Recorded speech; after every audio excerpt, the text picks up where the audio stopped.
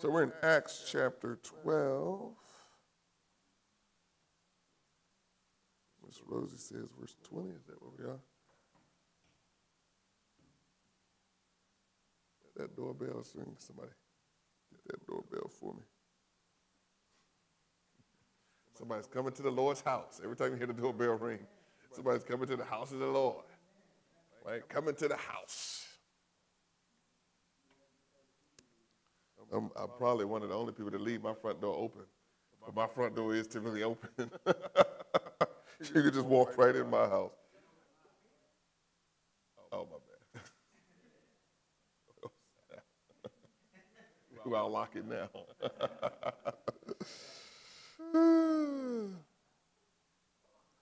I'm going to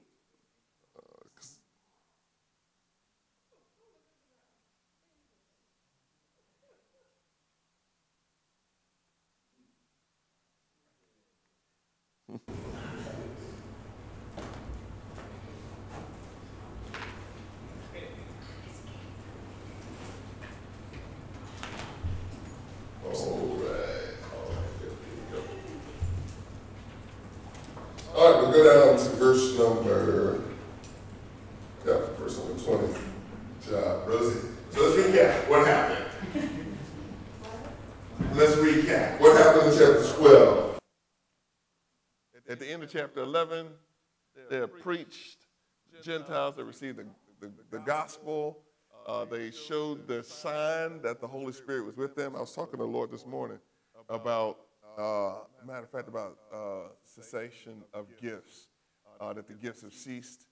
Um, and uh, I'm not a cessationist. A cessationist believes that the gifts have ceased. I don't believe the gifts have ceased um, because I believe in 1 Corinthians 13 it says, and that which is perfect has come, and that which is in part will be done away. I think that which is perfect is Jesus. I think when Jesus comes back, all the gifts will cease. Um, but I'm not one of those people that believe that the sign gifts are normative. Like people just walking around raising the dead, speaking in tongues. We don't, we don't, I don't believe that happens all the time, but it could happen in some remote part of the world, could happen in some remote part of DC. I don't know, it could happen where God is doing something to get glory. So I do believe that. Um, so when the Gentiles received the gospel, they rejoiced, it said. And, and, and I was thinking today just about it's just as miraculous today for someone to forgive, someone to be kind, someone to be understanding and loving. And it's the fruit of the Spirit. It's just as supernatural. And I was talking to God that, that people don't think it's supernatural. So I was thinking about our brothers and sisters who go to a charismatic church. And I was thinking, like, what people are looking for is the supernatural. They're looking for the supernatural. They're looking for it. And I'm like, but it's just as supernatural to live holy. It is just as supernatural to live a pure life.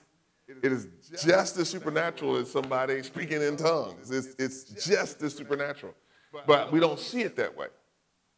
I don't think we see it that way. But it takes God to live a pure, holy, blameless life. It takes the power of the Spirit of God in us to walk in the Spirit, not in the flesh. So if you're doing those things, that's a spiritual, supernatural, awesome thing of God. But I think sometimes we think we can do it. I think sometimes we're trying to do it. And I think we're trying to live a certain way versus, versus just submitting to the Holy Spirit and letting Him live His life through us. Because that looks different from the way we live. And then the other thing I was thinking about, a lot of times we're in sin and we don't know it.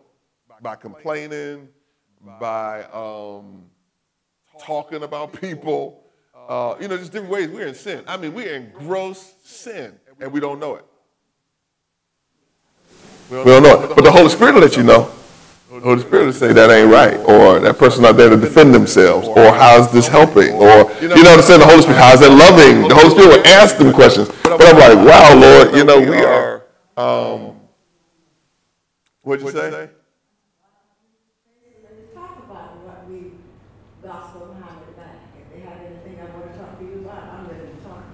Talk to the Holy Spirit or talk to the person? Yeah, but right in the, in the culture we live in today, people are not emotionally healthy enough to have that conversation. So a lot of times when people are doing that, they're in sin because they're not considering the person. So that conversation, the way that conversation needs to happen is the person that has been offended um, needs to allow another person to speak into their life. And sometimes you don't know when somebody's been offended. And you don't mean to offend someone, but you've offended them, but you don't know it. And so then you go to try to talk to somebody that you've offended that you don't know, and you might be saying what's right, but they're not listening to you because you've offended them. So what the Holy Spirit is telling us is you offended them, right? The Holy Spirit is trying to tell us that they're not listening to you because they're offended. So now you got to figure out, okay, it's never my desire to offend you, so let's start over. I like what the women did Tuesday night. This, let's just start over. Let every relationship start over and begin from square one. Because often people are, are doing things that they don't, and then people are not always honest. And so if people are not honest and you walk on something that when people are not honest, I found out so many things where people, people tell me, yeah, tell me the truth. I want to know the truth. People don't want to know the truth. Yeah, they don't, they don't. They, yeah, yeah. But, but people don't, they're not ready for the truth because most people think they know what the truth is. And then when they find out that you know the truth, then all of a sudden everything changes. You know, you, will be talking to somebody and say, well, I talked to so-and-so, and you can just see the face because they don't know that you know so-and-so. So I talked to, and then the whole face just dropped. Because now what they're saying, they said, but you started this conversation out with tell me the truth. And I'm like, I just happen to know the truth already. So I'm coming to let you know I know. And you just see, so, so then I'm learning that, well, you really didn't want to know the truth, but you wanted me to know your truth, not the truth. And that helps me love people because I'm like, everybody has, there's the truth, and then unfortunately, there's our truth. And if that those two truths don't match, it's usually uncomfortable. Okay? so just, just trying to help. God is the Spirit of God is trying to help all of us out today.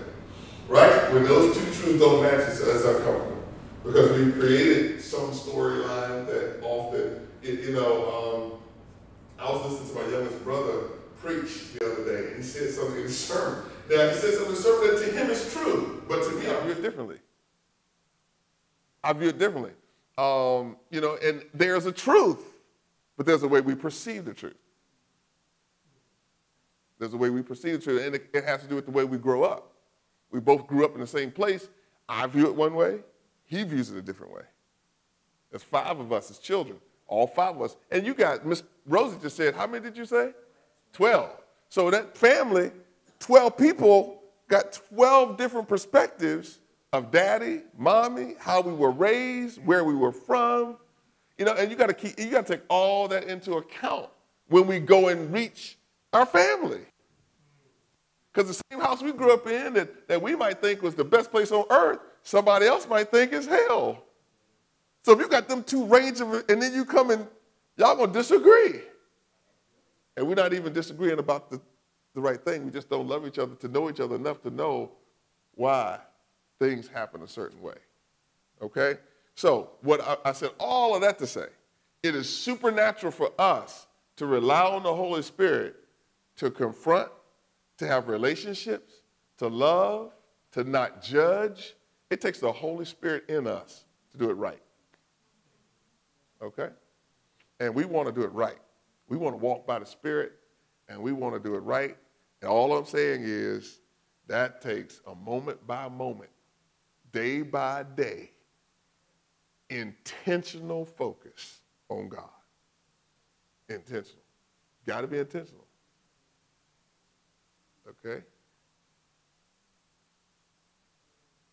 Uh, I was just thinking, I asked somebody the other day, I asked somebody a question the other day. They said, why'd you say that? And the way the person thought about it, they thought about it like, did I question how they felt? And I was like, no, I didn't mean anything by it. But I was so glad that we were in a relationship, that person could tell me how they were feeling when I said something.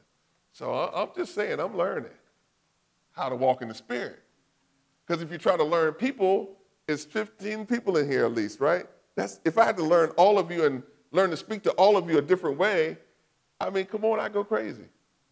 But if I just let the Holy Spirit speak when I speak, it's always going to be a blessing. So I'm encouraging all of us to do that, all right? And believe it or not, that has a lot to do with what happened in chapter 12.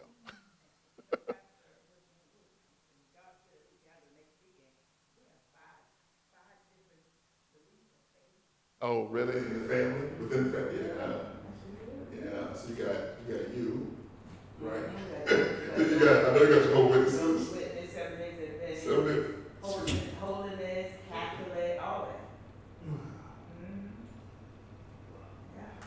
Well, it's like like the guy came in one day and said, My mom was a Baptist, my dad's a Catholic. I don't have a verse now, but one of them was a Catholic, one was a Baptist. I said, Which one knew God?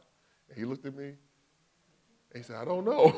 so I said, Well, we want to know God. It, doesn't- that doesn't matter where you where you're from. Like which one actually knew him? And so I shared the gospel with him that day. But uh, no, he said nobody had ever told him that. I was like, yeah, I just want to know which one knows God. I don't care about where they're at. I want to know which one can, can get to the get to the Lord. Okay. Yes, sir. Mm-hmm. listening to you know, talk about the truth and everything. You know, when, when, you- when you speak like that, you know, I, I bones in the, in the Bible, in my thought pattern, right? So I was just thinking about when Jesus was talking to, uh, I think, Pilate, Mm-hmm. and he asked him about What truth. is. He said, what is truth? Policy, Yeah, yeah. and then, and then from there, when you were always talking, I went to John, I think it's sixteen or seventeen, when he, he said that, well, you know, I got to go. If I don't go, he won't come. And then I started thinking about what he said after that. He said, when I do, when he does come, he will tell you all things. But then, you know, I said to myself, well, he was talking about the spirit of truth. Yeah. When he was talking about walking in the spirit Yeah. you know, and, you know, he, he he'll tell you, you know, because he is the truth. Yeah. Yes. Yes, sir. That's good. That's good. And John 17 says, sanctify them by your truth. Your word is truth. Did he help? Yeah, because if I, I'm, I'm talking to you, if I know something wrong, I'll tell you. And I hope I have a friend that when I'm out of step, help me to get back in the step, because I don't realize it, that you see in me, every, all of us have blind spots. And I'm looking for you to help nurture me, that I might elevate above that. That's, That's, what we want to do. that's, that's my, uh, when I get my, telling you might not receive it, but I did what I was supposed to do. I'm supposed to tell you the truth. You say, well, so, so, oh, we been talking about something, so, so, that's about, um, that sound good, I said, but the word of God says such and such a thing. I'm, I'm gonna tell you about the word of God, said, whether you receive it or not, that's your responsibility. It is a responsibility, but if they don't receive it, But then, then, really we have to tell them the truth. Because they didn't receive it. I told them the truth according to the word of God, but they didn't wanna hear it. Yeah, I mean, it's two, it, what you're saying is two, there's two levels to it. There's one level where, where like, I heard you and I see it, I'm not ready to face it. Now, that's, that's the right way. But then there's another way that says, I can't hear what you're saying because you are in the way. Not you, but the person. I'm in the way. And because I'm saying it. And that still could be the other person's fault, meaning they could be believing something that's not true. But what I've learned is, but if they're not getting the truth, then I got to get it, I got to tell somebody who can reach them. Like I can't say, well, I did my part. I got to say, okay, they're not listening to me. So who will they listen to? Then I need to find somebody that they'll listen to so that they can reach them with that truth. And that's like when all of us who have children, you know, when you're raising your children, you get to a place where they're not listening to the parent. But the parent can always find somebody that they listen to. So sometimes you got to go to that person and say, you know, one on one, hey, could you pour this into my son's ear because he listens to you, and then they'll they'll receive it that way. I, I am relieved from my responsibility. Because they did not receive it from me, I'm supposed to tell them whether they receive it or not. And then the Holy Spirit or might speak their heart or mind and say, well, and I, and that had happened. I said, Eugene can reach the children because he's been there where they are. But I'm still supposed to tell them, if I, you know the truth, the truth will set you free. Yeah, yeah, but I hope y'all understand what I'm saying. I, I'm just saying when you love, and if you if the Holy Spirit lets you know they didn't receive it, then we're not off the hook. That's what I'm saying. I'm saying so now find find a way that they can receive it. Because a lot of times the reason they don't receive it is because of the relationship. Like a relationship might be bad, so they won't receive it there, but they may receive it from someone else, or they may receive it, they may receive it from you in a letter versus me talking to you.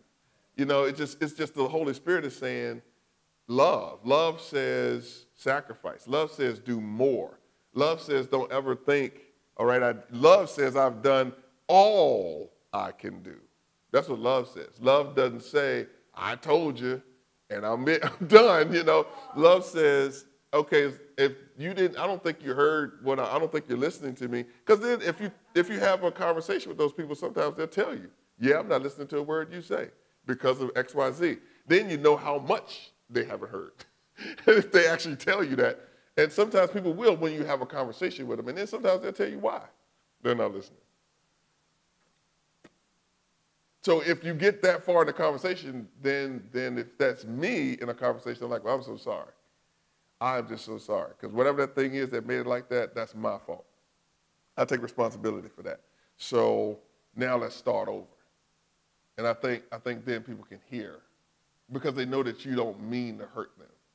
Like it, I didn't mean to hurt you. Like I mean to, you know, it, it. What I'm talking about a lot is in in family relationship with children and parents. You know, sometimes that relationships because you're growing up as a parent, that kid is growing up, that child's growing up, and you're raising them. So a lot of times we are just giving them commands, right? Versus they grow to a place where the relationship changes, where there needs to be an exchange of ideas. Even though you're still the parent, there still needs to be a now that needs, because they're grown, they're growing, they're grown, some of them. And so now they need to exchange ideas. And if you're still trying to bark orders at them, they just stop listening because they like, I'm an adult, I can make my own decisions. And, you know. Like we talking Rose and I talking, I'm not talking about with the children because I know that you have children when they're small and this when they get big, they choose their own direction. My duty is to pray for them to just do their part. Right, so I'm saying, Yeah, all people, all people need that care. That's what I'm saying. All people need that care. And she thinks she's right, and she's not. I said, oh, that's right, that's what the Bible said, I was told that. Yeah, yeah, yeah. That's that's great if that relationship is it it lends itself to that. I said a friend. Mm-hmm. A friend is someone that loves, I'm not talking about feeling love, cares for you. When you're up, they love you. When you're down, they love you. I can sit down and talk to them and say, no, they say, why, that's not right. You, why is it not? I said, well, how you say that? And they show me why. I said, I said, oh, I'm so sorry. I need to ask forgiveness. You know, Ricky, after the study, I want to talk to you. I want to talk to you. Yeah, I want to talk to you. All right, so so let's let's uh, let me tell you then what happened in chapter 12, right? So so in chapter oh, go ahead, Miss Hill. Oh, you wanna know what happened, Chap? Yes, ma'am. Well, Herod killed James. Okay, Herod kills James. Who is Herod? Herod Agrippa? Herod, I mean, Herod Agrippa, right? Herod Agrippa the first, right? Okay, yeah, keep going, Miss Hill. You're doing well. Peter was in prison. Peter became in prison because Herod enjoyed what he was doing to the church because he was getting famous that way. so he wanted to keep going. What stopped him from killing Peter? Passover. The time, it's the Passover, so he says, uh, we'll wait.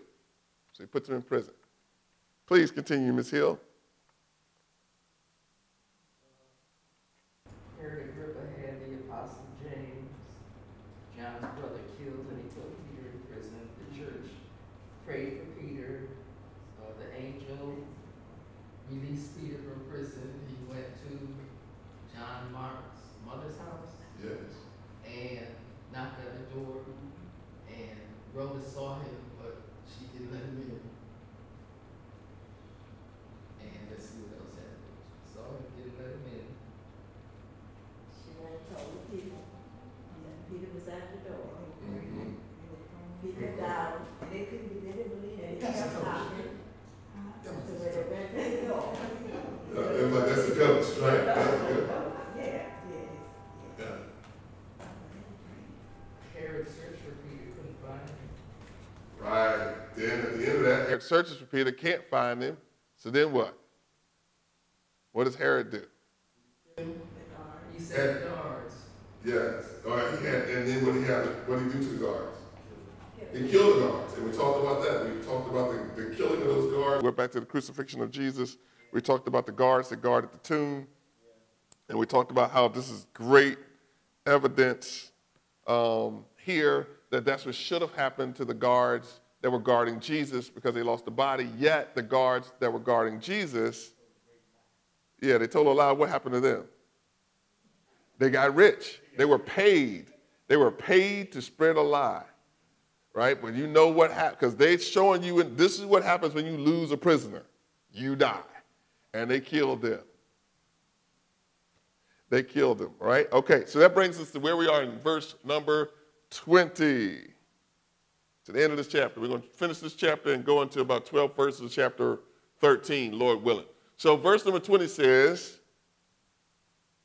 Now Herod had been very angry with the people of Tyre and Sidon but they came to him with one accord, and having made Blastus, who is Blastus? Blastus is the king's personal aide, probably the treasurer of the king. That's who Blastus is. But the, the people of Tyre and Sidon made him their personal aide, I mean, made, made him their friend. Like Miss King just said, a friend. So they made friends with him, and they asked for peace because their country was supplied with food by the king's country. So they came, they made friends with Blastus, who is the aide treasurer of the king. And so now what they're doing is trying to make peace because the king is supplying them with food. Okay? Verse number 21. So on a set day, Herod, arrayed in royal apparel, sat on his throne and gave an oration to the people.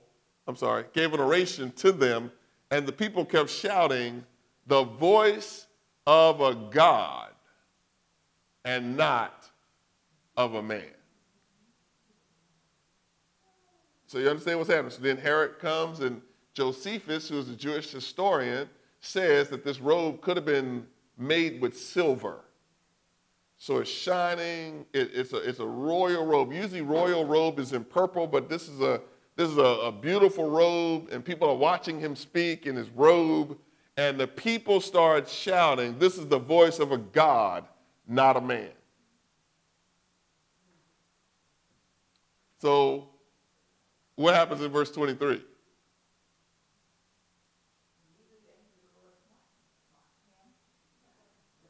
Okay, so hold, so hold it. So immediately an angel of the Lord struck him, smote him, struck him. Why? Because he took the glory. Because he took glory that belonged to who?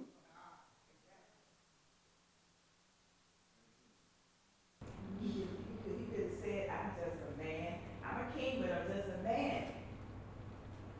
So what does this say about who Jesus is?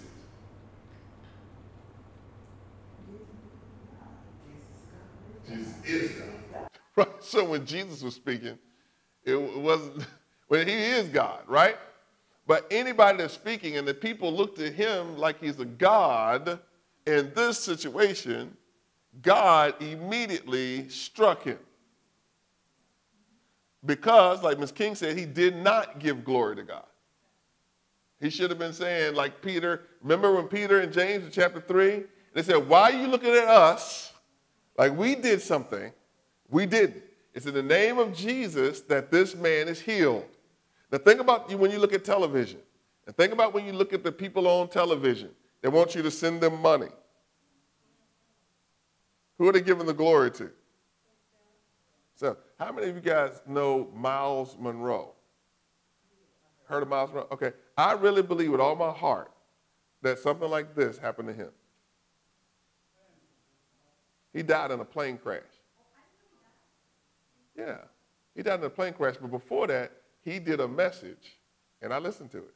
He did a message, and he was tell, saying that when you, you don't have to give people the gospel and talk about the cross. He says people don't want to hear nothing about no blood, and it's packed, and people are taking notes. Two weeks later, he died in a plane crash. And I believe because he did not give glory to God, because he is taking away from the message, I believe that God, I believe that God allowed him to be taken out. I really do. So you can do your research on that, look at that, look that up. But and that happened, I don't know how many years ago now, if you look at his death, but it's in the last two or three years. Two years ago? Yes, in the last two or three years. I, I, and I remember looking at the message, and I remember the next week that he died. And I was like, wow. But that does not surprise me because when I was watching this message, I was vexed. My spirit was vexed. I'm like, look at all these people. I was like, he, you know better than that. Like, you know better than that. And I'm like, you don't have to tell people that. Why would you stand up and tell people not to preach the cross? Not to talk about the blood? Now, Come on now. The blood that will never lose its power, the blood that saved our lives, you're going to tell people don't talk about the blood. Go ahead, Ms. Gwen. Just reading that, I'm just thinking that, I think that presently God is so patient with us. Yes, That, you know, that might have happened to him, but I just know, I met somebody who calls himself Yahweh. I first saw it on Facebook, I found, I found it in my notes there, man. His wife called him the Holy Ghost, so I'm like, Holy Ghost, I had to go, I had to go look, look it up. And I actually met this guy at a fundraiser, he called himself Yahweh. Black person. The whole organization, and there were people there, and they say things and they were like, the name of Yahweh, like, I was frightened. Yeah, you should be. And it's a human being standing there and says, it's Yahweh. Wow. Yeah, I Why understand what was you're the saying. Holy Ghost and the is still living? Hmm. Yeah, he's still living, but it wouldn't surprise me if that doesn't keep happening. But, but he is patient. You, you brought up another good point. When you read something like this, you got to think about how merciful God has been to us. Not saying that we've said, I'm God, listen to me, but how many times have I taken glory away from God? Like God did. I was thinking today just about all of the things that God does and he should get the glory for family relationships that are, that are strong. Why would we give ourselves credit for that? The enemy trying to tear the family apart. So if the family is tight, that is God. He's allowed it to be tight. He's allowed something to happen where it's together, even when there's all them different. He's allowed it to. It's, it's got to be God because the enemy's trying to destroy every. He's tearing up everything. But we'll we'll we'll think it's just us, but it's not just us. It's Him. So, so if we're not careful, we, we take glory away from God. But in this case, and think about it, the Herod had already killed James. I guess it's like he already had it coming, right? You didn't, you didn't touch God's anointed, if you will, right? And now you're going to stand before the people and not give glory to God. And God says, nope, that's not going to happen. Kenny.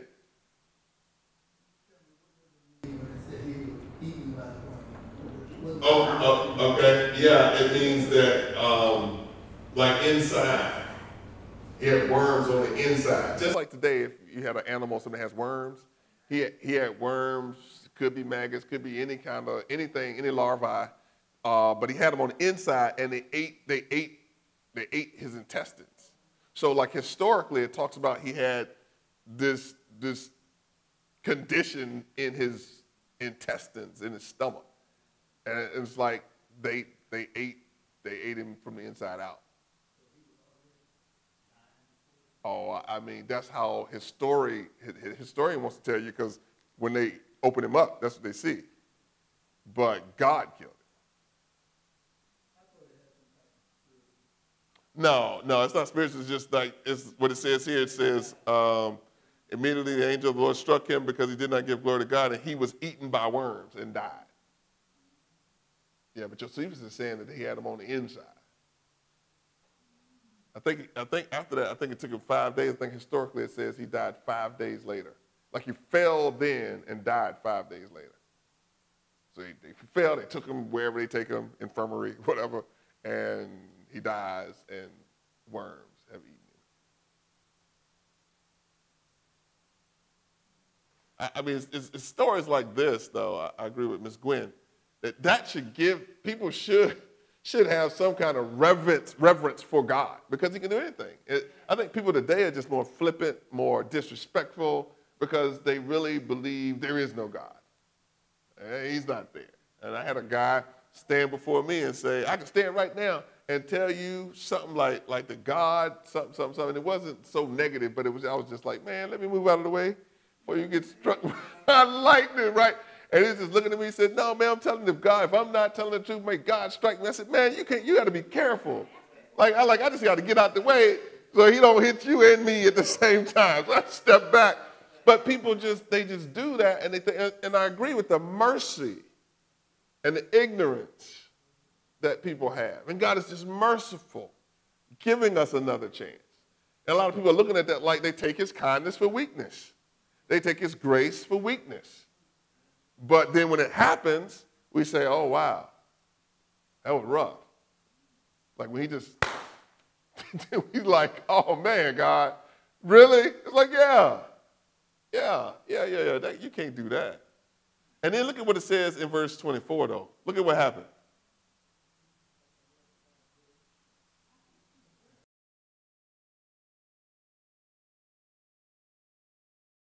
Um, Rosie did read it, but the word of God grew and multiplied. Interestingly, after that tragedy, the word of God grew. Oh, yeah. Well, we know why it grew, right? Yeah. Yeah. You killed James, and then you're here speaking like a God, and God smites me. It's like, okay, you know what? God's, God's real, God's serious. Let's get into the word. You know, that's, that's how it is once God does something. And I think the same thing happens in our lives too. You can be, something can be happening, and then God does, He moves. And then we do the same thing. We say, man, God is real. Let me get back in here. Let me, let me get back in. God is real. God is doing it. But it looks like what happens when, when, when Yahweh, when this guy says, I'm Yahweh, nothing happens, then it seems like our heart begins to say, well, God, we begin to doubt. But then when God shows himself strong, we go back and the word, God, word of God grows and multiplies because we're right back in the word. But we have to know that God is God. And as Gwen said, you got to trust the fact that God is merciful. The Bible says in Peter, it says, God is not slack concerning his promise as we regard that slackness or, um, that waiting a long time. But God is long suffering, not willing that any would perish, but that all would come to repentance. That's our God. That's what he's doing but he's still God. He's still God. There have been different movements in our lifetime where God had to deal with a leader. But like you say, we don't call it that. Like Myles Munroe, a lot of us might not want to say, well, God did that, but I believe God did that. If you go back and listen to his messages and look at what he was saying, he clearly was off. And at one point, I think he was not off. At one point, I think he was, yeah, it was solid. But then what happens? I think some of the things that happens is people lie. I read an article recently about pastors who um, don't, don't really practice what they preach. Like they're telling you what to do. Count it all joy. Give till it hurts. Whatever that thing is. But then they're not doing it. They're not counting it all joy. They're not giving till it hurts. They're not saying, get over the fact that your wife left you. You know what I mean? They, they, it's easy to stand up there and just proclaim it, but when it's happening to them, they're drinking, popping pills. And you know what I mean? But, but the people are looking at them like, oh man, yeah, that's what I got to do. But then they're not doing it. And then when they, when they come out that they're a fraud, what do you think that does to the people?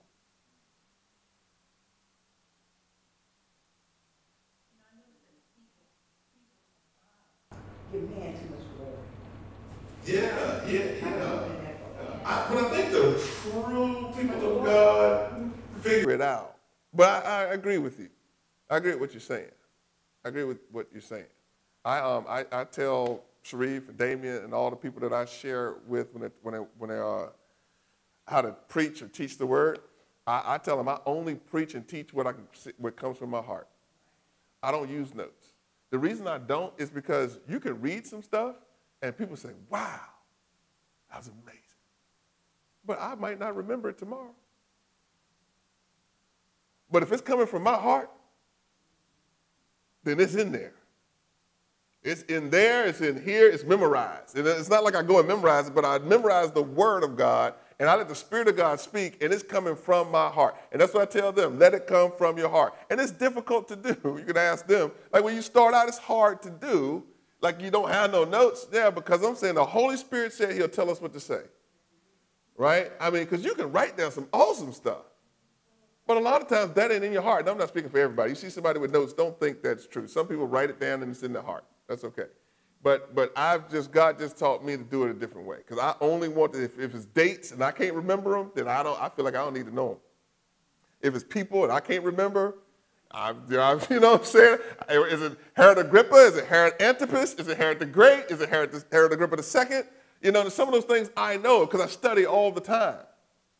But then some things I don't. But what I do is I study it and try to put it in my heart so that I can share it with anybody. And you won't meet somebody in the street and say, hey man, where's that verse about that again? And I say, oh, I got to get my notes. And then you got time to get your notes. then, like they want to know the answers. And so you spend that time in the Word. You really spend that time in the Word. And it takes longer. And it's a lot, it's a lot more tedious. But when you stand up, you share the scripture. Because if you can't, if you don't have nothing else to say, I tell them this, you don't have nothing else to say, just read. Just read it. Read it out loud. Read it well. Read it out loud. It'll do what God sent it to do. Somebody had somebody raised their hand just now. Oh, go ahead. So, well, I mean, I don't, I don't preach on the pulpit, but I'm, I, when I read the word of God, sometimes God says something to my heart, and, you know, at that moment, I feel like I have some, I, I have to write it down. Yeah, yeah, that's, that's okay. I'm sorry, that's not what I mean. I don't mean that. I mean when I stand up to teach or preach. Because when I teach, I might. Because sometimes you got staff. Honestly, I don't care about. I told God that this morning, right? I, I just I love God. But we, I was studying, and I, it's like all these facts. And I'm like, God, I don't care about none of that. But the people might. They might need that information. But I don't. I don't care who Blastus is. I don't care. But you might care. So I can tell you who he is. But I told the Lord, I don't care who he is. I mean, it's the word of God. It's like it tells us he was a friend of Herod. So, but you might be sitting there saying, who is Blastus? So I, I need to tell you who he is. You understand what I'm saying? Some people love that detail. I'm not one of them detail type guys. Just give me the bottom. I'm a bottom line type guy. Give me the bottom line. What's the bottom line? Herod died. I'm like, that's what I care about. Like, what is, like, this guy died. What did he do? He did not give glory to God. But I do all the work that I might be able to teach you. But I'm just being, I'm just being honest. You know, a lot of people want to do all the background and all that, and that's great. I'm not saying don't do it. But I'm saying sometimes they come back 10 years later and that background was wrong. Like when it's not in the Bible, and somebody will tell you something about a background, and then 10 years later say, oh, we got this culture wrong. So really, this is what they do. So now all that, that, that profound preaching on how they did something, now it changes. Because they figure out they find some artifact or there's some Jewish scholar and they say, no, this is not how that worked at all. This is how it worked. But you already got, and I'm saying, well, all I do is stick it right in here. Because you can't tell me, I'm just reading it right here.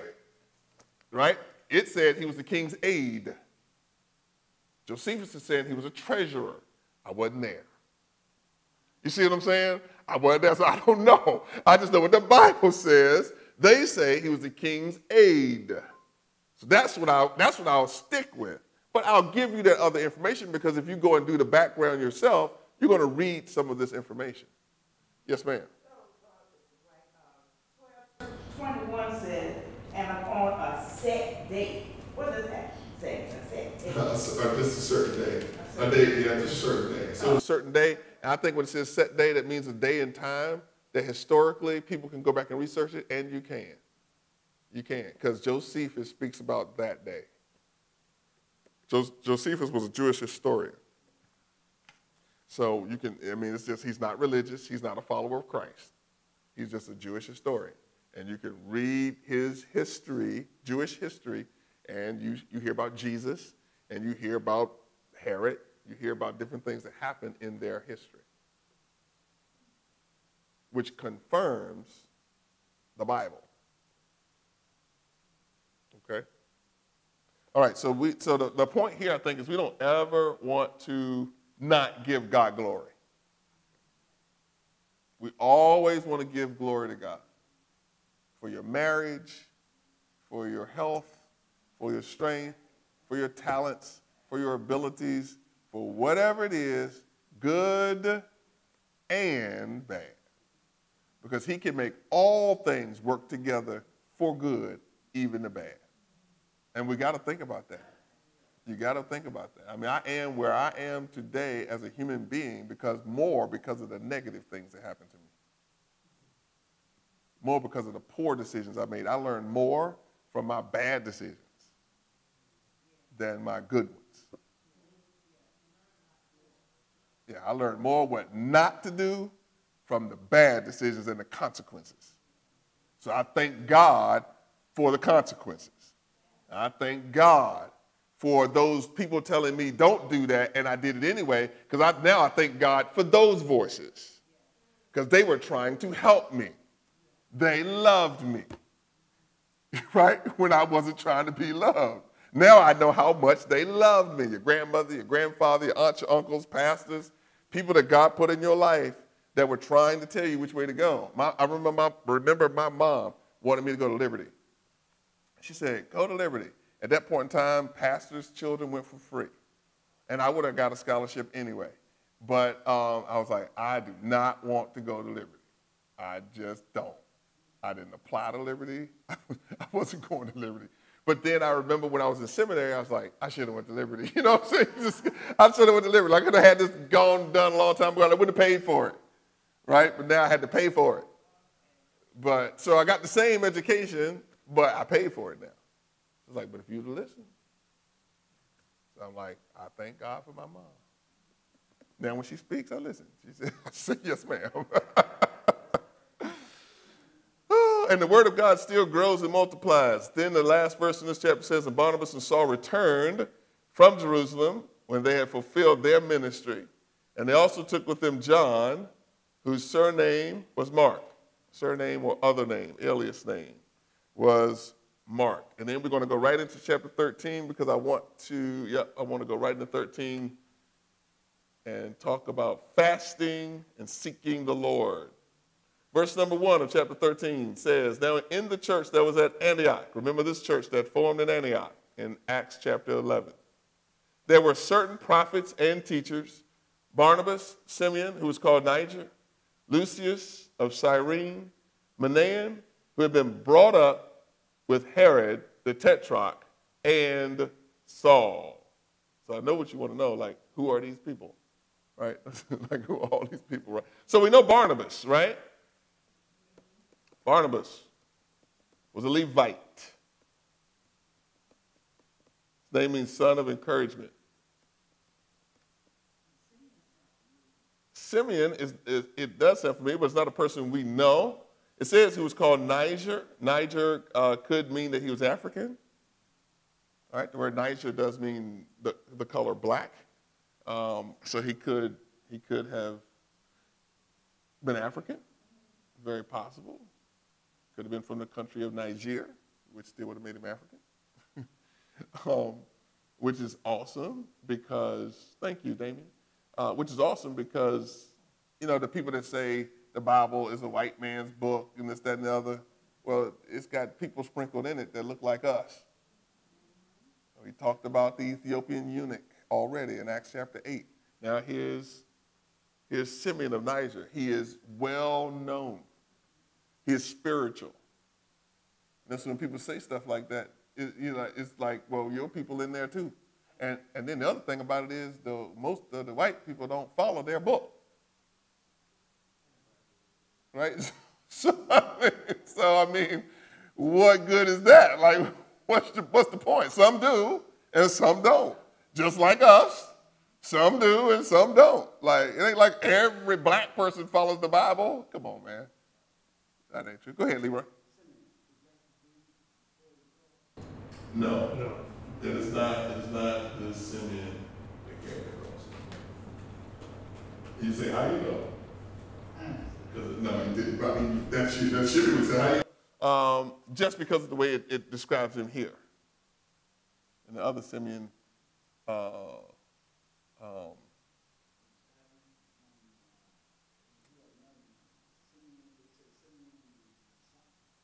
uh, yes. Let's look, let's see what it says.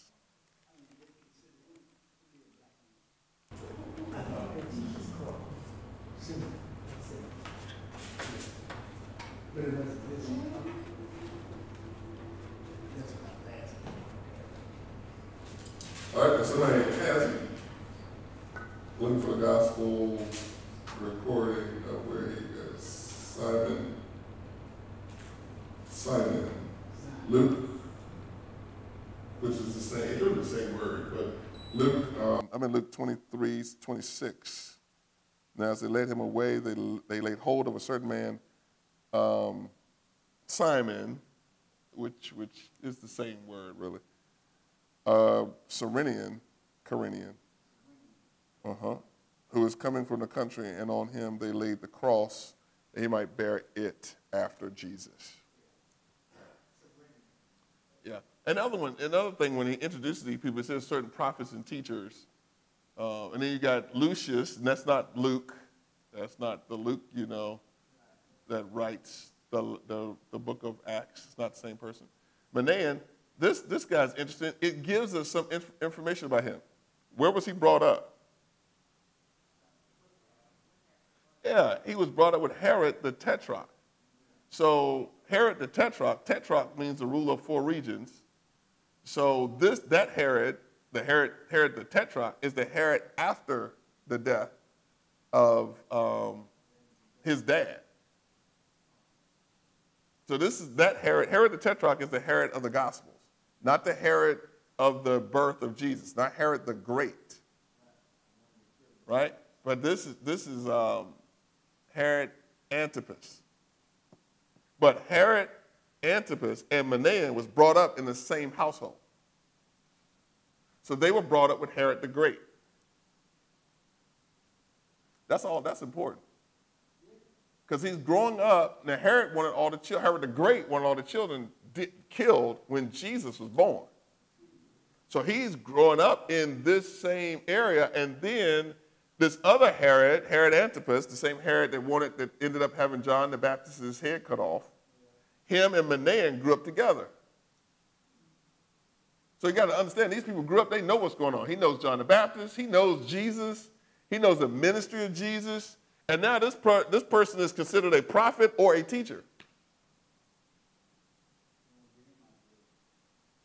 God is awesome. These are people that grew up in Herod's household. So that's why he gives us this specific information, because it's like, and this person grew up around royalty, if you will. And then it says, and Saul, and we know who he is. So all these guys are hanging out together. Verse number two says, as they ministered to the Lord. What does that mean? Okay, they were praying daily. All right. Okay, they were praying daily. Thank you, Miss Joyce. Anybody else? How do you minister to the Lord? Yeah, that like.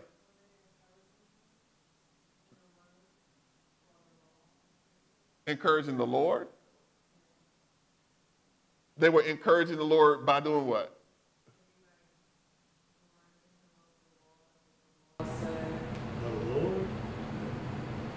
I mean, I don't know. God. But I'm thinking, You talking about because God. he's Jesus, Yeah. right? Uh-huh. And I'm thinking like, how can anyone minister to him? Maybe encouraging him, like she said, praying with him, Yeah. being I mean, with him. Jesus.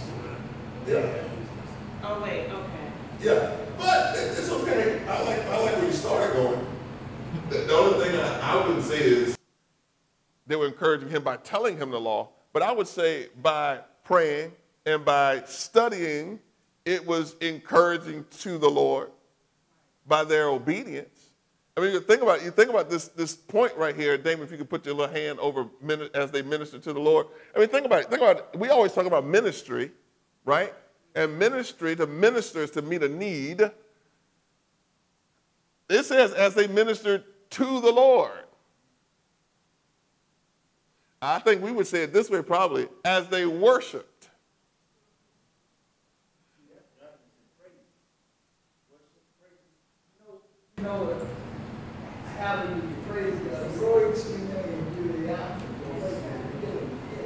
Yeah. yeah. Lift them up, praise him. Yeah, Joyce. I'm saying that you bring back to God what he gave to us. Okay, okay.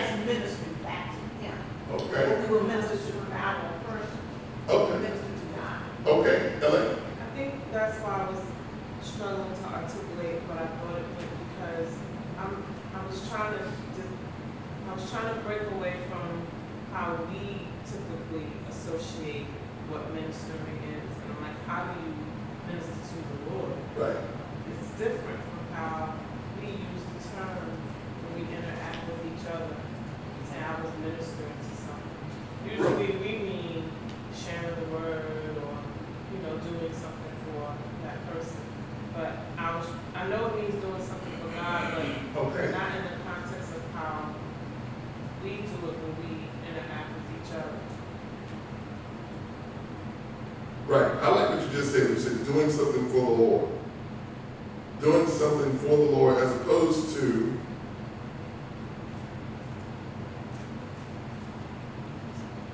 as opposed to doing something for yourself. Interesting here, the word that's used is the word that we get the English word liturgy from.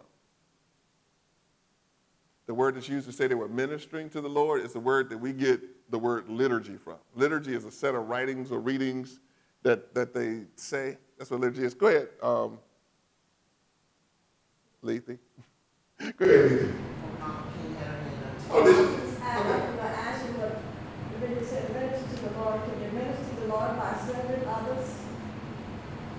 I think you can, but that's not what they were doing here. But I think you can. Yeah, I think you can. I think, I think anything we do oh, Yes. for the Lord mm-hmm. and not for us provides ministry to the Lord. Yeah, Letha, go ahead. going to, I was going to ask, is ministering to the Lord, could it have been not just spiritual insofar as praying, but physical, like maybe just, Lord, what do you need? Do you need water? You know, shade or whatever, like they would just help provide for him what he might have needed physically, like go get me this, or go do that. The Lord here is Jesus or I know. God. Okay, okay, okay. All right. I mean, but I guess what I'm saying, like, I'm Yeah, thinking, trying yeah. to think, could it have been ministering to, like, his needs, whatever, I mean, I know he's God, but he's Mhm. also in the flesh, so I was wondering if, you know, like, anointing him with oil or whatever, I mean, whatever he might Right, have needed them to do, like, go get me food, or, right. But you know, but we all, just be clear, Yeah. he's not physically there, but oh, he's not physically there. sorry, let me just stop. Yeah, yeah, yeah, yeah, yeah. He's not. Yeah, he's not physically there. It- it's- it's- I'm just saying the statement is, and they minister to the Lord. But but what I what I want to bring out is what we were just saying though is when we come, for example, here, and we come here for the Lord, then you're ministering to the Lord. But when we come here for us, that is different. Yeah, yeah, everybody understand what I'm saying? I'm like when you get up and you say, man, I need a word. Now, I'm not saying don't come because you need a word. Come, come because you need a word. But I'm saying that's different when you get up and say, I am going to worship the Lord.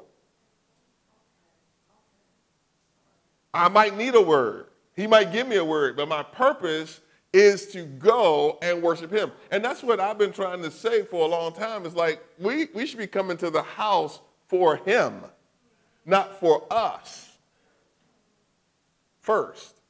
And then when you come to, to, the, to the house for him first, then you're going to hear the Holy Spirit speak and tell us what to do. Yeah, Letha. Okay, so here's what, okay, I hear, I think I hear what you're saying. Help me out. Okay. Um, so earlier when I prayed, I'm, I mean, I come, I do come to seek the Lord. So is that the same, is that saying that I'm not coming to worship the Lord? I mean, I'm not coming for any particular thing, but I want to hear what he has to say to me. But like sure. what you're saying, you, your Holy Spirit. Oh, you said that last part again. I'm coming to hear what uh, he, you God, are, you are coming to. Yeah, yeah, I'm. Coming to hear what God yeah. See, see, and that's the thing, I think prayer is one of those things that work both ways every time. Because I think when you pray, you're praying to him, and he wants us to pray. And we're listening for Him. I think, you, I think, and that's kind of what's happening here. Obviously, it's what's happening. Let me go to the next one. It says, it says, and they minister to the Lord, right? All of us need to minister to the Lord. We need to worship God. We need to do something for Him, not just for us. It says, and fasted. So now, now think about how they, they came, and fasting is when you turn down the plate and or water. Most of the time in the Bible is food and water. You turn that down to seek God spiritually. All right?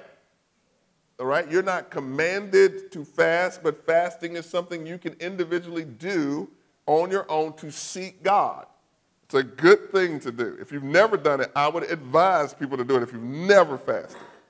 But if you've had periods of fasting in your life, then I understand that. There's not a New Testament command that says you must fast. But this is what they were doing.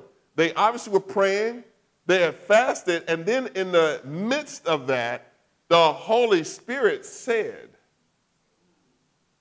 See, so while they were in that way, the Holy Spirit spoke in a way in which it's, it's not just one person receiving the revelation. Now, you already got prophets and teachers there, so you got serious spiritual seekers there. But when they came together to minister to the Lord, it had to be thanksgiving and worship, and it, it was all vertical. It was all up to the Lord. Then, and they were fasting, so it wasn't about them. Like they had, they were fasting, so it ain't about us, God. It's about you and what you want. You know, it, it, so to me, it wasn't even like, Lord, what we want. It's like, Lord, we want direction. That's what it seemed like they were seeking the Lord for, just direction. Lord, I need direction. Just tell me where to go. You know, you don't get the next request where somebody has cancer, and they were healed, somebody's dying. You don't get all of that. You get separate to me Barnabas and Saul for the work which I have called them. you get the Lord just comes in and speaks and says, Separate these two people, I have a work for them. That's what happened when they were ministering to the Lord, fasting, seeking the Lord. Separate them for the work I have called them. Verse 3 says, Then having fasted and prayed. Saul, uh, Barnabas and Saul. Barnabas and Saul. As they ministered to the Lord and fasted, the Holy Spirit said, Now separate to me Barnabas and Saul for the work which I have called them. Then, having fasted and prayed and laid hands on them, they laid their hands on them, they sent them away. They did exactly what the Lord said. They didn't say, Well, not, not Paul, not, I mean, not I keep calling Paul, not Saul, not Barnabas. We need them, Lord. No, it was like, Lord, that's what he said. Let's pray for them. Let's ordain them. That's what ordination is confer, a conferring of rights, authority, and um, a mission. That's what an ordination is. They ordained them, they just laid their hands on them and said, All right, we're sending you guys out in the name of the Lord from this church in Antioch. Saul is still Saul at this point. That's about to change. That's about to change.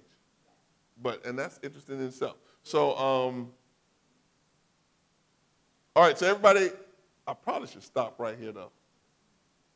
You know what? I probably should stop just so we can let all this sink in. That's what I'm gonna do. I'm gonna stop at verse 4. It says, So being sent out by the Holy Spirit, they went down to Seleucia, and from there they sailed to Cyprus. So they were sent out by the Holy Spirit. So you're talking to people about planting churches, um, missionary work, all of that. People shouldn't send people, the Holy Spirit should send people. And see, this is where we get ahead of God. This is where we run, is when we say that, okay, we should be doing missions. Then everybody wants to send somebody to some remote part of the world. But what if that's not God's will? What if that's us saying, this is what God wants, so let's do it, versus us fasting and praying and coming together, and all of us say that God is saying, send Everett to Israel. Right?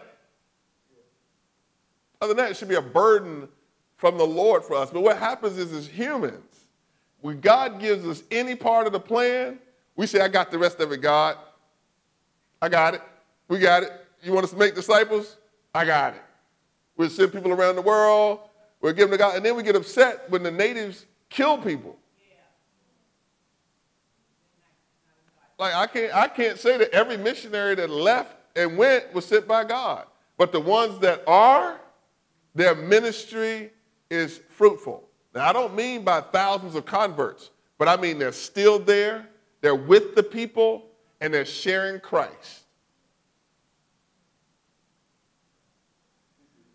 I think so. We got a lot to think about because what we want to do is is just just just manufacture spirituality. That that's why you know that's why I always didn't like the word. Um, what's the word? Starts with an M. Um, you all know the word. It's just? To make you do something mandatory. That man, I hate that word when you're talking to Christians. And is this mandatory? I'm like, is you a Christian? Is it mandatory to come and pray? Is it mandatory? Like I hate, I don't, I don't like that. But now I have made it mandatory for leaders. I have, not for just people, lay people, but for leaders. If you're a leader, it's mandatory. If I have to tell you that until you till everything catch up and you get it, that you should want to pray. This doesn't appear to be mandatory. That's why I like they minister to the Lord. It's, it's, almost like the heart of David when David comes and says, Lord, I want to build you a house. You know, that's why when you guys were talking about you want to do something for the Lord, even physically, I'm like, well, that was David's mindset. David said, Lord, I'm going to build your house. And God's like, David, come on, man. You don't have a house big enough for me to live in. Like, you know how big I am? like, the earth is my footstool. I rest my feet on the earth. What are you going to build? But God saw his heart, that he wanted to do something for God. And we just came off the 4th of July, and everybody likes to quote, Do not ask what your country can do for you, but ask what you can do for your country. And then we spiritualized it and said, Do not ask what God can do for you, but ask what you can do for your God. And I say it, and I say it again, that's true. Stop asking what God can do for you. He's done a lot, enough, I want to say. But he's not done. That's why I said I want to say, because he's still doing stuff. But we should be asking constantly, God, what can I do for you? We should be. Just because we go back and think about, we count our many blessings. You try to name them one by one, count your many blessings, and see what God has done. I mean, if you actually do that, and I, have tried to do it a few times, I try to do it almost every day. But I just think about the blessings of the day, and I'm like, man, God, you're amazing. When I think about the bless, yesterday went to Kingston, me, it poured down raining. It was a blessing. I didn't want to ride nothing, and we couldn't. They shut the whole park down. We got. I didn't pray for that, but I'm like, man, I'm old and I'm big. You can't, man, them rides, man. When I today, I'd be barely able to walk. I'm old enough now. My knees would be hurting, my back would be all shifted, you know. But we had a blast in the park, and I'm going. I'm like, God, you are so good. You are so good. I sure that's exactly how I felt. I know a whole bunch of other people was upset. and then you know what they said? We was going out of the park. Keep your ticket. You can come back any day between now and September the 2nd. And I'm like, look at you, Lord. It's a double blessing. I mean, but I, and I thank God for them things. I was just like, man, that's God. I just give him glory. And to me, people, man, God cares about your little thing. He does. Don't you think he does And yes, he got a big job to do with holding the universe together, but he cares about your little thing. I am living proof that he cares about the thing that we think. Sometimes we ain't even concerned about it as much as we ought to be. And he cares about it. That's our God. So I think today, you know, as you leave here today, think about two things for sure. Think about Herod and how he died. Let's not take glory away from God. When you look back over your life, man, God deserves glory. Has everything been peaches and cream? Probably not. But look at what he's done. Look at the future ahead. That's one thing. So don't take glory away from him. The second thing is every time when you get ready to come to this place, come to minister to the Lord. Come to minister to the Lord. And I, I guarantee you, for me and all of us, that slight thought will enhance your encounter. That little thought that, Lord, I'm coming here not to preach, I'm coming here to minister to you. And what do you need? Nothing. you don't need anything. So ministering to him says, I'm, I'm thankful, I'm obedient, I'm, I love you, Lord. Let me, let me shower you with adoration and praise the way you've showered me with life, eternal life, family, church family, blessing. The way you bless me, let me shower you with the way I live, with the words that I say, with even me controlling my thought life. I control that life in my mind because I love you. I won't let it run crazy because I love you. So I'm going to stop it right there. Minister to the Lord. All right? Yes, Miss Hill. When I get in his name, like Blackaby says, and I always say, Lord, what can I join you in, Yes. in doing for you? Yes. Amen. The Spirit of God, yes. Henry Blackaby, yeah. Yeah, how can I join you where you're at work? Yeah. And that's, that's so true. And God is at work here. He's at work in you. He that begun a good work will perform it, will complete it until the day of Jesus Christ. Yeah, Kitty. You can minister to the Lord at home when you're praying and reading the Bible. Yeah. Yeah. Doesn't matter where you are. God said things that when you come to this house, Yeah. you can do the same. Yes, you're right. Yeah, you're a minister to the Lord. Yeah, in your prayer closet, in your kitchen table. Yes, yes, yes. When I say come here, I, I think often, and there's nothing wrong with coming because we need a word. But I think if we could switch that to I've come to minister to you, even though I need a word. You know, I just think corporately, whatever we're doing individually, we ought to want to do corporately right? So if we're doing it at home, we want to come together and do it because all of us are doing it and we all got insight that God's sharing with us and we got things going on that we want to share because it'll bless somebody else around you. That's the assumption that we all are doing it.